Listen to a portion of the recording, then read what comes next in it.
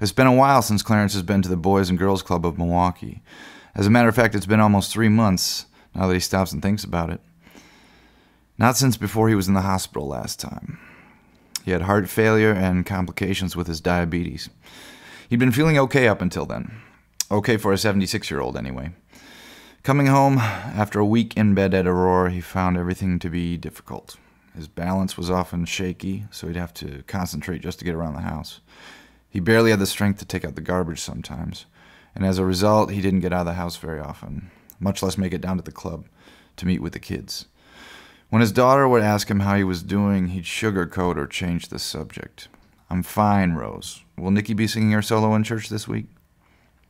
The last thing he wanted to do was to become a burden to Rose. She had her hands full already.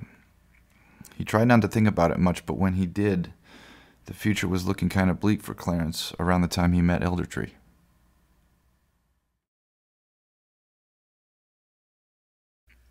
Clarence was doubtful when he was first introduced to Eldertree. He was hesitant and maybe even a bit scared. He didn't know how to talk to it, didn't really understand what it was supposed to do. He'd heard about it from his nurse at the hospital, but now, having a close look in his living room, he wasn't so sure. I'll give it a week, he thought. Clarence was about ready to throw his slipper at the local news when Eldertree came rustling in, shaking his glucose meter. Oh, yeah.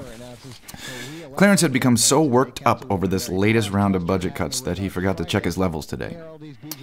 When Eldertree saw the reading was low, it brought Clarence a glass of apple juice from the fridge. An hour later, Eldertree was back in the room again. Clarence eyed it with uncertainty. What now?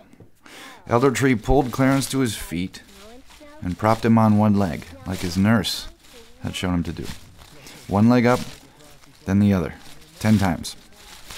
This was supposed to improve his balance. Clarence was heading towards the front door to go out and get the mail when Eldertree snuck up and held out his cane.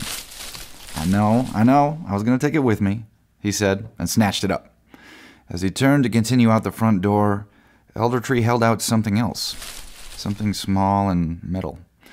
Clarence couldn't make out what it was until Eldertree attached it to the end of his cane and then slinked away. Then Clarence remembered. When he was leaving the hospital, his nurse had mentioned something like this an ice tip. Out the front door, he could see that the walkway was looking slushy. I suppose that tree knows a thing or two, he thought, and stepped out. Early in the morning, Clarence twisted off the hot shower and turned around. He couldn't hold back a slightly embarrassed smile when he saw Eldertree in the corner, holding out a towel for him. He grabbed it, and when a branch was held out for him to steady himself as he stepped out, he said, Easy, E.T. You know, I'm only okay with this because you've got no eyes.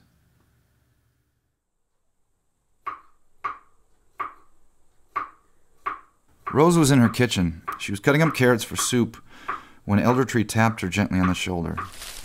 She was starting to get used to it being around now and again, but she was still a little bit alarmed. Eldertree calmly handed Rose the phone, and Rose knew that her dad had probably been having some trouble with his blood sugar again. She called him, made sure he was all right, and spoke with him about his next doctor appointment. Rose always keeps a strong face on around her family, but sometimes she feels like she can barely hold it all together. She would always be there for her dad. Of course she would. But it wears her out, and sometimes she didn't know what to do or how to help. And her dad would always just say that he was all right, even though she could tell that he wasn't, and so on. Later that night, after Nikki went to bed, Eldertree came to Rose and led her out of her room took her to a place where there were others who understood the challenges she faced. There, she made friends and was able to laugh a little bit.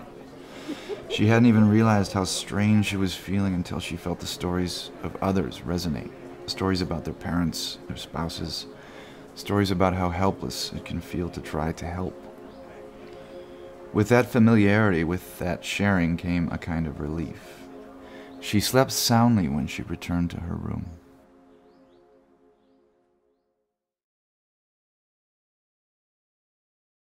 When Clarence shuffled into the kitchen for his lunch, he was delighted to see that the floors had been swept up, the countertops were gleaming. In the corner, Eldertree was finishing tying up the trash and recycling bags. His first impulse was to go grab the bags himself, but really, he was deeply relieved that the work was getting done. Clarence hummed as he pulled Rose's frozen chicken soup out of the freezer while Eldertree rustled out with the bags.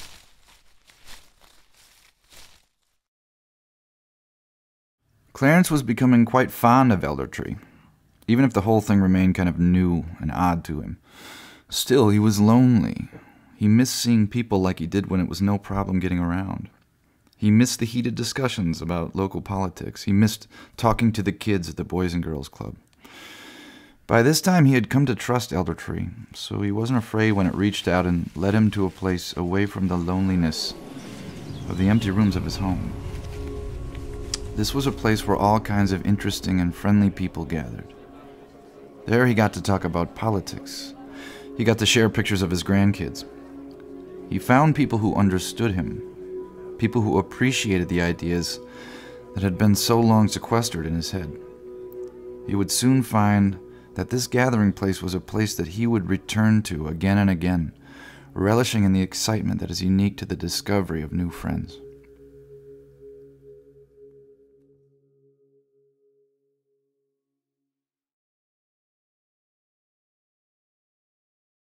Clarence is thinking about how much things have changed in the last three months when he hears a car horn outside.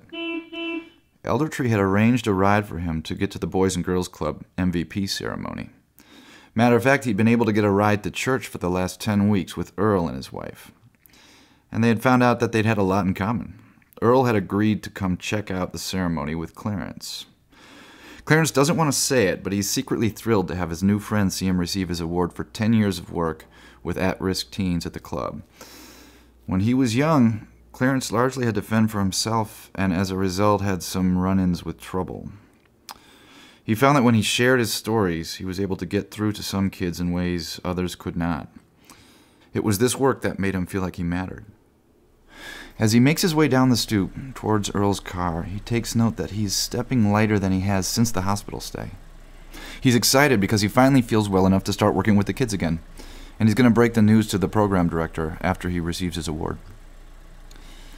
Maybe he can get Earl to sign up too. We'll see. Eldertree shuts the car door and waves after them as the two new friends drive off to the award ceremony.